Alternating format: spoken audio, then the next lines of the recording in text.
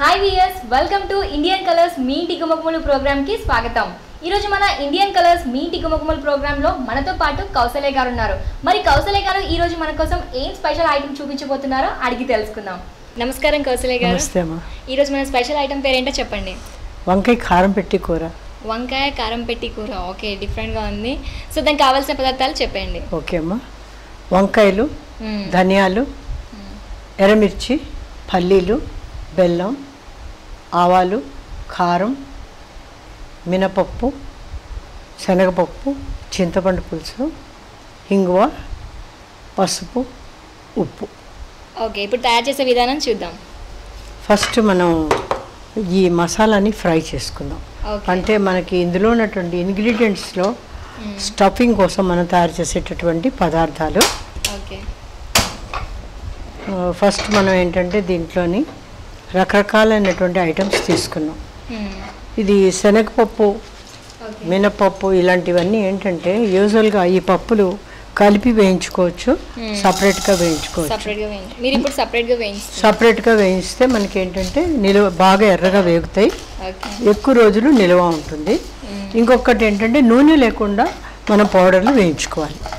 ఎప్పుడైతే నూనె పెట్టి మనం పౌడర్ వేయించుకున్నామో అది కొంచెం ముక్కు వాసనలాగా వచ్చి స్పెషల్లీ రైనీ సీజన్లో పాడైపోతుంది. అలా కాకుండా నూనె లేకుండా మనం ఇలాగా దోరగా ఎర్రగా వేయించుకోవాలి. అలాగ ఒక్కొక్క పప్పు నేను వేయించుతున్నాను. ఎవరికైతే ఓపిక లేదో వాళ్ళు అన్ని పప్పులు కలిపి కూడా వేయించుకోవచ్చు. అంటే ఇది ఓన్లీ స్టోర్ చేసుకొని పెట్టుకునేటటువంటి పౌడర్ అన్నమాట. అందుకని ఇప్పుడు శనగపప్పు వేస్తున్నాము. ఇక్కడ ఇన్ని రకాల ఇంగ్రీడియంట్స్ మనం తీసుకున్నాం. ఇంత రకం ఇంత మసాలా మనం ఇందులో వేసుకుంటేనే వంకాయ కూర తినరా ఏవి రుచి? వంకాయ అని పాటలు కూడా ఉన్నాయి కదా. వంకాయ కూర అంటే వెరైటీ ఆఫ్ వంకాయ కూరలు రకరకాల గుత్తి వంకాయ కూర కూర. పెట్టిన కూర. వంకాయ అనేది చాలా ఫేమస్గా మనం అందరం చేసుకుంటాం. ఆంధ్రావే కాదు ఇప్పుడు హైదరాబాద్లో బగరా బైగన్ అనేది చాలా ఫేమస్ అది కూడా టేస్టీగా ఉంటుంది. వంకాయలో ఏ వెరైటీ చేసినా కూడా బాగుంటుంది. అయితే ఇవాళ మనం చేస్తున్నట్టు వంకాయల్లోని మనం ఎంచుకున్నాం చిన్న చిన్నగా పొడుగ్గా ఉన్న వంకాయలు. ఇది ఉల్లికారం లాగా చేసుకుంటారు. అంటే ఉల్లిపాయలు బాగా గ్రైండ్ చేసేసుకొని అది బాగా ఫ్రై చేసి దీన్ని స్టఫ్ చేసుకొని ఉల్లిపాయలతో కూడా చేసుకుంటారు.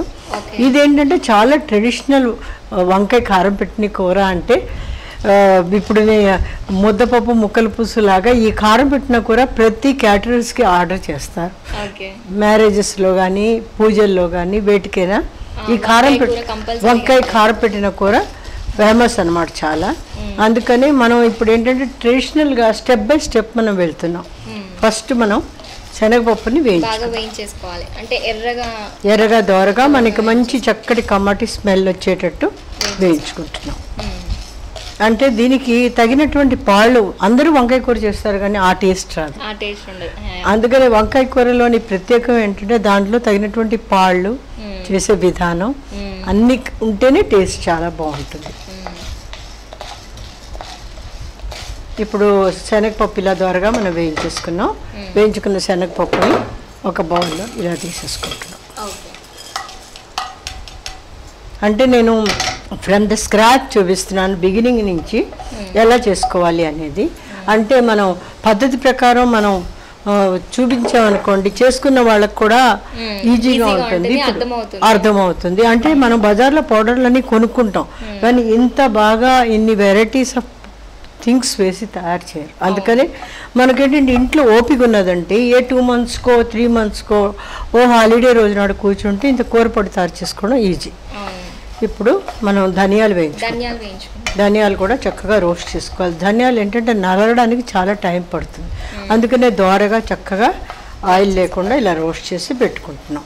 చాలా మందికి ఏంటంటే అమ్మలు ఆడపిల్లలకి కూర పొడి సాంబార్ పొడి అన్ని రకాలైనట్టు కంది పొడి నువ్వుల పొడి అన్నీ తయారు చేసి ప్యాక్ చేసి ఎక్కడ ఏ దేశంలో ఉన్నా కూడా అమ్మాయిలు కానీ అందుబాటు చేస్తుంటారు అంటే ఎన్ని రోజులు అమ్మలు చేస్తారు? వాళ్ళు కూడా చేసుకోవాలి కదా. అందుకనే ఎప్పుడు వాళ్ళంతటా వాళ్ళు తయారు చేసుకుందికి కొన్ని త- వాళ్ళు కూడా ప్రయత్నిస్తుంటారు. ఎంతసేపు "ఆ, ఓకే అమ్మ నువ్వే పెడతావా? నేను కూడా పెడతాను నేర్చుకుంటానని వాళ్ళు కూడా నేర్చుకోవాలని ఇంట్రెస్ట్ ఉంటుంది పిల్లలకి. అందుకని ఇది బిగినింగ్ నుంచి ఇలాగ అనమాట అన్ని ఒక్కటి స్టెప్ బై స్టెప్ ఇప్పుడు దోరగా వేగిపోతుంది. ఏంటి? ధనియాలు. దోరగా వేగిపోగానే ఈ ధనియాలు కూడా ఇందులో వేస్తాం. ఫస్ట్ శనగపప్పు శనగపప్పు నెక్స్ట్ ధనియాలు వేస్తాం. అలాగే నెక్స్ట్ మీకు గుమ్మ గుమ్మ స్మెల్ తెలుస్తుంది కదా. నెక్స్ట్ మినపప్పు వేస్తాం. మినప్పప్పు సో ఇలా ఆ, మినప్పప్పు శనగపప్పు పెసరపప్పు వేయించకూడదు. పెసరపప్పు వేయమా అంటే దేనికి ఏది వేస్తామో ఆ ఇంగ్రీడియంట్సే వేస్తాం కదా? దీనికి కూడా చక్కగా మన సున్నుండలు పెట్టేటటువంటి టేస్ట్ దోరగా వేగుతుంది కదా? అలాగా మినపప్పు కూడా చక్కగా వేయించు వేయించేసుకోవాలి పప్పులు కలిపి వేయించుకుంటే ఏంటంటే పెద్దగా ఉండే పప్పులు తొందరగా వేగవు. సన్నంగా ఉండే పప్పులు తొందరగా వేగిపోతాయి. అన్ని బాగా అలాగా బాగా వేగాలంటే ఇలాగా సపరేట్ సపరేట్గా ఏ పప్పు అయినా కొంచెం గోల్డెన్ గులాబీ రంగు వచ్చేటట్టు వేయించుకుంటే చక్కగా అనిపిస్తుంది. ఏదైనా పౌడర్ బాగున్నది అనుకోండి కూర కూడా టేస్టీగా ఉంటుంది.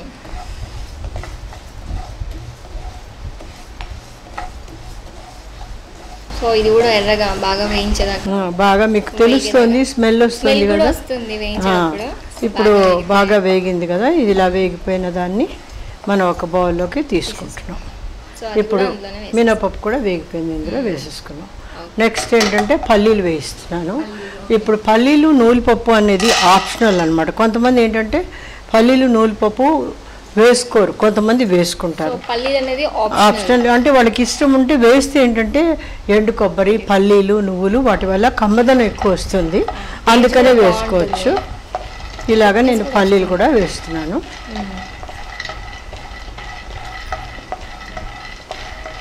ఆల్మోస్ట్ మనకి అన్నీ కవర్ అయిపోయాయి.